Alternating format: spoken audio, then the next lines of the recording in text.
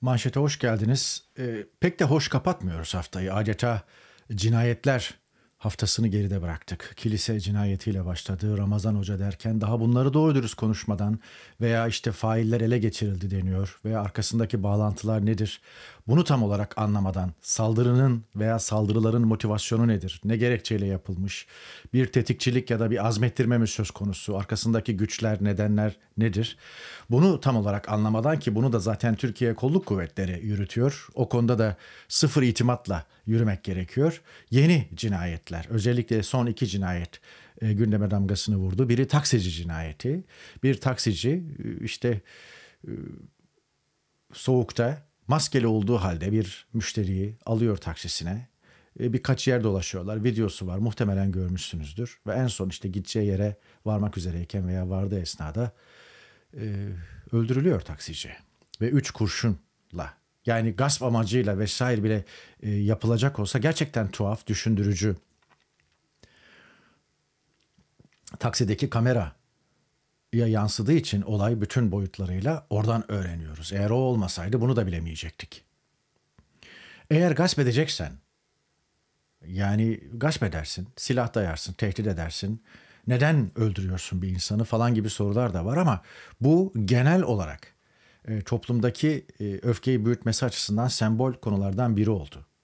Elbette 2-3 gün konuşulup unutulacak bir konu ama bir bardağın taşması adeta. Bazı insanlara güvenmeyeceksin dediği duyuluyor 19 yaşındaki Delil Aysal'ın. Oğuz Erge 44 yaşındaki taksiciyi öldürdü İzmir Gazi Emir.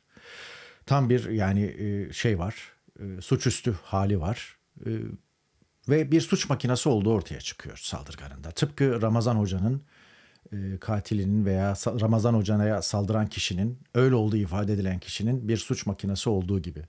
Bir yönüyle de tabii suç veya bu tür suçlar kişilerde veya toplumda genel bir güvensizliği tetikliyor. Yani ben zannediyorum 9 ya da 10 yıl önce bugün gazetesinde dalaşmayın başlıklı bir yazı yazmıştım. Yani dalaşmayın aman e, sinirlerinize hakim olun. E, herhangi bir biçimde size haksızlık yapıldığını düşündüğünüzde falan bile kimseyle tartışmaya girmeyin yani o anlamda. Yoksa elbette haksızlığa isyan edeceksiniz, itiraz edeceksiniz ayrı bir konu ama insanlarla muhatap olduğunuzda çünkü silahlar patlayabiliyor. Çünkü darba maruz kalabiliyorsunuz veya siz birilerini darp etmek durumunda kalıyorsunuz sonra al başına belayı. Hele bugün gelinen noktada muazzam bir güvensizlik var. Yani can mal emniyeti kalmadı. Kalmadığı gibi de herkes kendine göre kendi yöntemleriyle iş tutuyor. Yani bunun bir sonucu. Bir toplumda huzur ve güven suç istatistikleriyle ölçülür. Temel kriterlerden biri budur. Ve suç istatistiklerinin yüksek olması o toplumda huzur ve güvenin olmadığını gösterir. Ve bu da doğrudan hukukla ve ekonomiyle ilintilidir. Ekonomi çökmüşse suç istatistikleri patlar. Hukuk çökmüşse aynı şekilde. Ve zaten bunun sonuçları yaşanıyor maalesef. Bir diğer konu gezi eylemleri sırasında göstericilere palayla saldırdığı için Palalı Sabri olarak nam salmıştı Sabri Çelebi. O da İstanbul'da e, silahlı saldırıya uğramış. Hakkında pek çok şey var, e, suçlama var. O da bir suç makinesi adeta ama işte bu, bu tarz e, suç makinesi olan kişilerin sembolleşse de ya da sembolleşmese bile elin yani e, elini kolunu sallayarak dolaşması. Yani problem bu. Fırat Fıstık yazmış. İşine devam etti diyor. Yani hiçbir şey başına gelmedi. Hatta Palalı Sabri diye nam saldığı için de belki bundan bir menfaat sağladı. Fuhuş çetesi kurmak, hırsızlık, alıkoyma gibi suçları var. Sonra İzmirli gazeteci Süleyman Gencel Eski AKP milletvekili şimdi rektör Nüket Otar'ın açtığı dava nedeniyle tutuklanmış. Yani bir yerden topladıklarına bakın, bir yerde de salınmış ve iş tutanlara bakın. Yine Tatvan Belediye Başkanı'nın korumalarının saldırısına uğrayan Sinan Aygül'e saldırganlara hakaretten 2 ay 5 gün hapis cezası verilmiş. Bir de böyle tersine e, çalışan bir hukuk düzeni. Ne diyordu? Galip Ensarioğlu yasama bizde, yürütme bizde, yargı bizde, her şey bizde. Böyle bir düzen. Şimdi böyle bir düzende ne şeriat tartışılır, ne idam tartışılır, ne de başka bir şey tartışılır. Hiçbir şey bir yere doğru gitmez. Bilakis bu, bunu tartışmak veya tartıştırmak belki de düzene hizmet olur bir yönüyle. Lale Demir, Demirkaya paylaşmış avukat. Karıncayı bile incitmemiş, asla da incitmeyecek insanları içeri doldurmak için sürekli çıkardıkları infaz indirimleriyle canileri sokaklara salınca elbette ki ortalık hunharca işlenen cinayetlerden geçilmez olur. Bunlar daha iyi günlerimiz maalesef diyor. Ki bunu adliye koridorlarında o havayı soluklayan bir hukukçu paylaşıyor. Nasıl olmasın ki Cevheri Güven paylaştı. Son videosu büyük ses getirdi ama izleyenler nezdinde ses getirdi. Türkiye Medya Mahallesi suskun. Bu konuların üzerine bile gitmiyor. Tıpkı daha önce Fuat Oktay ile ilgili benzer rüşvet iddiasının üzerine gidilmediği gibi. Ses kaydı var dinleyin. O resmi ses kaydı yani. Adli makamlara intikal etmiş ses kaydından bahsediyoruz. Süleyman Soylu kırmızı bültenle aranan dolandırıcıdan vatandaşlık karşılığı 20 milyon dolar rüşvet aldığı iddiası. Detayları da var bakarsınız. Halil Falyalı'nın muhasebecisi Cemil Önan'ın resmi ses kaydı. Kıbrıs basını bunu almış haber yapmış ama Türkiye basını sağır dilsiz. Türkiye Büyük Millet Meclisi'nde Fuat Oktay ile ilgili konu gündeme geldiğinde de iddialar dolaşılıyor kamuoyunda falan filan gibi konuşulmuştu. Niye? Çünkü o iddiayı ortaya atanın kimliğine bakarak işlem yapıyor. Türkiye'deki bütün mahalleler sadece iktidar mahallesi değil. Ama Kıbrıs basını hala var bir miktar ve haber yapıyor. Neden olmasın ki? 9 Aralık 2023'te Kıbrıs Star gazetesinde yayımlanmış. Tanınma başka günü bekleyebilir. Kıbrıs Cumhurbaşkanı Kıbrıs'ta iki devletin işbirliğiyle ge- e, geleceğe yön vermesi gerektiğini söylemiş ama tanınma başka bir günü bekleyebilir demiş. Yani siyasi çözüm başka bir günü bekleyebilir. İstemiyorlar siyasi çözümü. Bunu Kıbrıs'takiler de istemiyor. Niye? Çünkü Kıbrıs Türkiye'nin arka bahçesi. Orada bütün kirli işlerini tutuyor. Ee, dünyada tanımadığı için orayı bir arka bahçe olarak kullanıyor. Kumar, e, ne bileyim e, bir takım fuhuş meseleleriyle insanları ağa düşürme. Akla gelebilecek her şey, bahis. Ve her türlü işte kara para aklama. Aklınıza gelebilecek her şey. Böyle elverişli bir e, ortam terk edilir mi? Siyasi çözüme. İstemiyor. En başta Türkiye istemiyor. Yani 50 yıl sonra ki bu sene 50. yılı Kıbrıs Barış Harekatı'nın. Ne adaya barış getirdi ne de insanlara huzur getirdi. Şikayetler devasa. Ama onu o şekilde tutmaya devam edecekler. Dönelim iç siyasete. Ayşenur Arslan'ın yazısı çok konuşuluyor. Dün yayımlandı. Sizce ben Alevi Kürt bir cumhurbaşkanı seçtirir miyim? Bu kişiyi diye bu lafı söyleyen kişi Meral Akşener herhangi bir yalanlama gelmedi 24 saattir özellikle bekledim. Gel edebilir. Fakat e, Ayşenur Aslan bir AKP'li, AKP'de siyaset yapmış bir ismin tanıklığından hareketle bu yazıyı yazmış. Meral Akşener'le görüşüyor bu kişi ve Meral Akşener Cumhurbaşkanlığı seçiminden önce sizce ben Alevi Kürt bir cumhurbaşkanı seçtirir miyim? Siyasi çizgim buna izin verir mi? Asla. 2023 seçimlerine iki ay kala. Mayıs'ta olduğuna göre muhtemelen Mart'ta söylüyor bunu muhatabına Meral Akşener. Peki aklınızda başka bir isim var mı diye sorulunca da Akşener İlhan Kesici olabilir. Abdullah Gül gibi yemeği önüne hazır ister. Bir de Hikmet Çetin düşünülebilir. Her halükarda Kemal Kılıçdaroğlu'nun olmayacağı kesin demiş. Ve şimdi Mart'ta olduğuna göre 3 Mart'ta bu masayı tekmelemesiyle de tarihler örtüşüyor. Meral Akşener'in masayı tekmelemesi. Zaten Meral Akşener masayı neden tekmeledi? Kemal Kılıçdaroğlu'nun adaylığına karşı çıktığı için. O güne kadar iki yıl boyunca gümbür gümbür gelen Kemal Kılıçdaroğlu'nun adaylığına hiçbir şey yapmayan Meral Akşener o gün masayı tekmeledi. Ve ortalık karıştı iki ay kala. Ve o gün ortaya attığı Cumhurbaşkanı adayı iki kişiydi. Mansur Yavaş ve Ekrem İmamoğlu. Şimdi onlara saldırıyor. Yani tutarsızlıklar diz boyu ayrı bir konu ama işte böyle tanıklıklar da enteresan bir şekilde 2023'te seçim arefesinde neler yaşandığını düşündürmesi açısından ilginç. Gazete Pencere Kanal İstanbul buhar oldu diyor. İşte iktidarın vaatlerinde, Murat Kurum'un vaatlerinde. Ya ya bırakın elleşmeyin buhar olsun. Yani Kanal İstanbul olacak bir şey değil. Kaşımayın bunu. Yani diyebileceğim bu. Yani her anlamda ekolojik olarak, siyasi olarak, e- ekonomik olarak hemen her anlamda olmaması gereken bir proje. Hatırlatıp durmayın yani. Bir başka gündem de işte simitçi tekelci bakanlığa davet ediliyor ve aman zamları erteleyin zam yapmayın deniyor. Şimdi simit sembol, işte tekel işte alkollü içki vesaire neyse. Şimdi bu da yani bütün bunların hepsi veri. Bütün bunların hepsi seçimin arkasından ciddi bir zam sağanağı olacağı. Şu anda zaten insanların iki yakası bir, ara, bir araya gelmiyor. Ücretliler aldıkları ücretle geçinemiyorlar. Ay sonunu göremiyorlar. Bir daha da artış olmayacak. Ve 2024'ü öngörmek olanaklı değil ki bunların hepsi zaten yaklaşan kasırganın, tsunami'nin e, habercisi. Ona rağmen insanlar iktidar politikalarını şu veya bu gerekçeyle deste- de- desteklemeye devam edeceklerse edecekler. Yani enteresan. Alev Alatlı ölmüş. İktidar politikalarını destekleyen, son 10 yıldır büyük destek veren, ondan dolayı da işte sarayda ağırlanıp ölü, ödül alan. Ama işte böyle gidiyorsunuz. Arkanızdan kimse yas tutmuyor bir avuç insan dışında. 79 yaşında vefat etmiş. Mehmet Barlas gibi, Hıncal Uluç gibi, Engin Ardıç gibi daha nicesi var sayarım. Ne uğruna, ne için? Değer miydi? Ya da orada Selçuk Mızraklı olayı. Yani Selçuk Mızraklı hakkında 9 yıl 4 ay ceza verdiler. Diyarbakır Belediye Başkanlığı'nı gasp ettiler. Sonra bakıyorsunuz habere.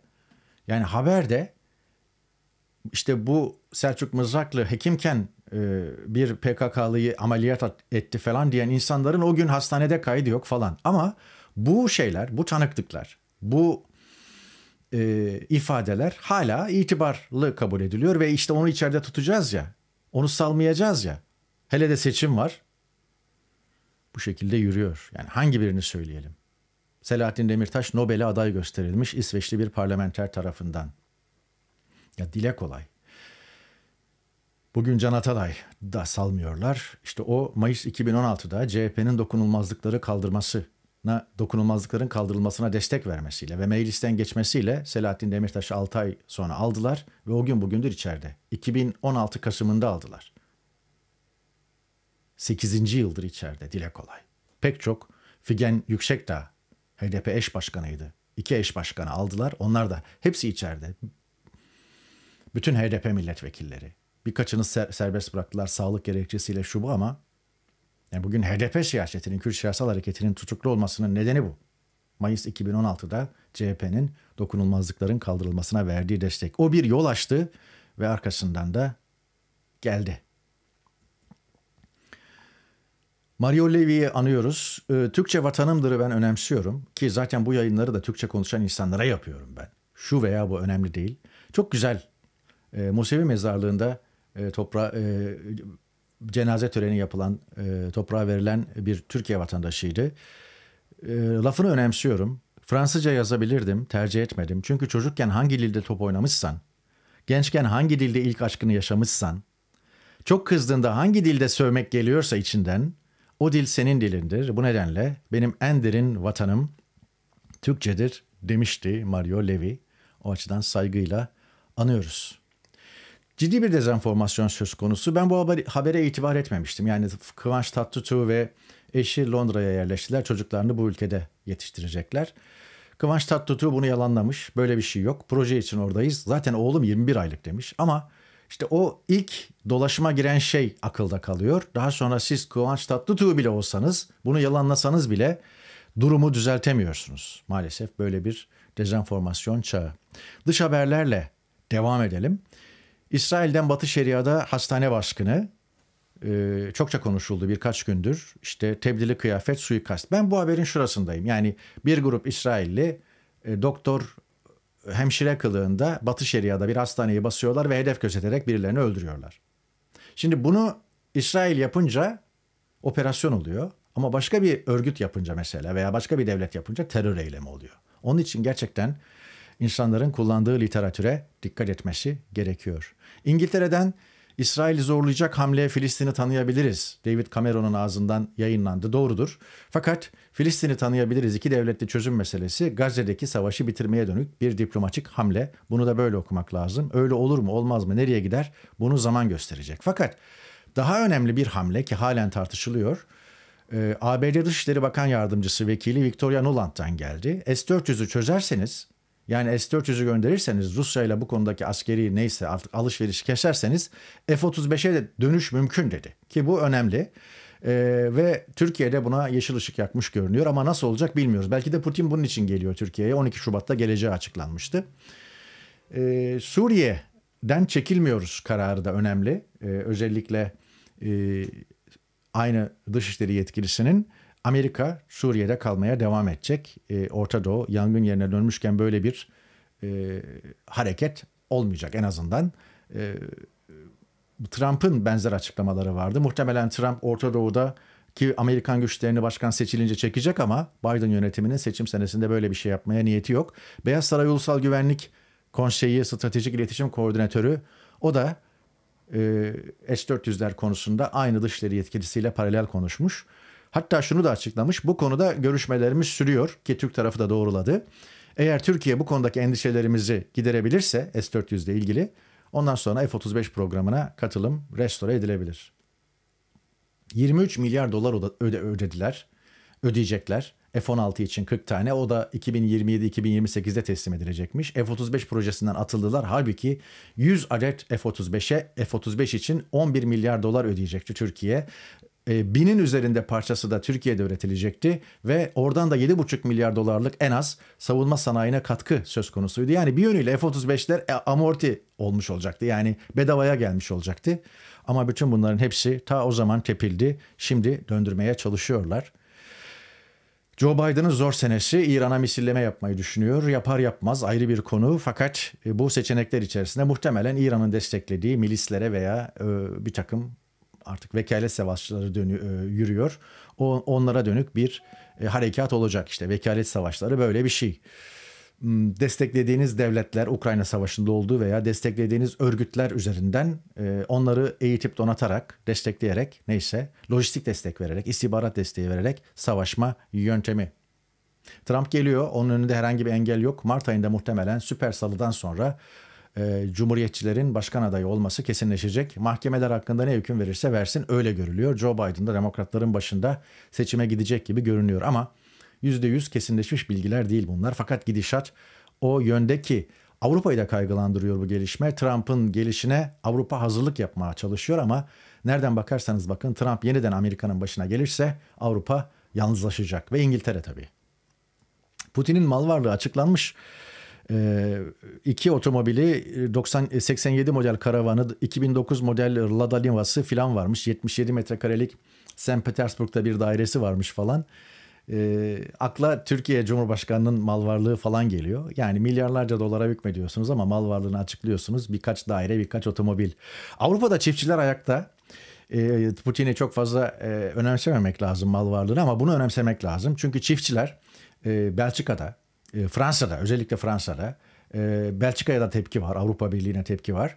E, Almanya'da hatta İspanya'da ayakta e, çok temel nedenlerle devletin e, çiftçiliği, tarımı sübvanse etmesini istiyorlar. Artı e, eşit olmayan rekabetten de şikayetçiler. Yani biz üretim yaparken pek çok kıstas var Avrupa Birliği kıstası ama siz gidiyorsunuz bu kıstaslara uymayan üçüncü ülkelerden ithalat gerçekleştiriyorsunuz. Sonra da biz e, artık geçinemiyoruz, ölüyoruz diyor çiftçiler ve bu devam ediyor. Sıcak bir konu. Bir diğer sıcak konu Daily Express'te 5600 göçmen tanımlandı. İşte şeye Ruanda'ya gönderilmek üzere. İngiltere ilk etapta Ruanda'ya 5600 göçmeni göndermeyi planlıyor ve bundan geri adım atmış değil ki zaten bununla amaçlanan Ruanda'ya bütün göçmenleri postalamak değil, illegal yolla ülkeye girmiş göçmenleri postalamak değil, göçmen akışını kesmek. Neden olmasın ki Times'ta manşet oldu 31 Ocak'ta Ocak ayının son günü e, göçmen e, nüfusunun artması e, ülke nüfusunu da artırdığı için beklenenden 10 yıl önce Britanya 70 milyonu geçecek deniyor. Yani 2036'da 70 milyonu geçmesi öngörülürken şimdi 2026'da e, İngiltere nüfusunun e, 70 milyonu geçeceği öngörülüyor. Bir diğer konu da Times gazetesinde yayımlandı ki bu, bu haberi önemsiyorum. Bu habere göre İngiltere'nin Türkiye ile sığınmacı iade anlaşması imzalama planı İçişleri Bakanlığı'nın Türkiye'nin güvenli bir ülke olmadığı yönündeki iç raporu üzerine suya düşmüş. Bu haberi önemsiyorum, önemsemek lazım e, Arnavutluk'la yapılan anlaşmaya benzer bir anlaşma yapmayı planlıyordu Britanya Türkiye ile. Fakat Türkiye'nin genel olarak güvenli olma kriterlerini karşılamayan bir devlet olduğu sonucuna varmış İngiliz İçişleri. Habere göre İngiliz İçişleri Bakanlığı incelemesinde Türkiye'den İngiltere'ye yapılan iltica başvurularının %99'unun devlet korkusuyla gerekçelendirildiğine dikkat çekilmiş. Türkiye'de terörle mücadele yasalarının aşırı hevesli bir şekilde e, kullanılması ve mahkemelerin bağımsızlığı konusundaki endişeler dile getirilmiş. Evet, ülkenizin durumu da bu. Kıskanılacak ülke. Bu duygularla manşeti noktalıyorum. Bir sonraki yayında görüşmek üzere. Pazartesi günü görüşmek umuduyla. Herkese iyi hafta sonları.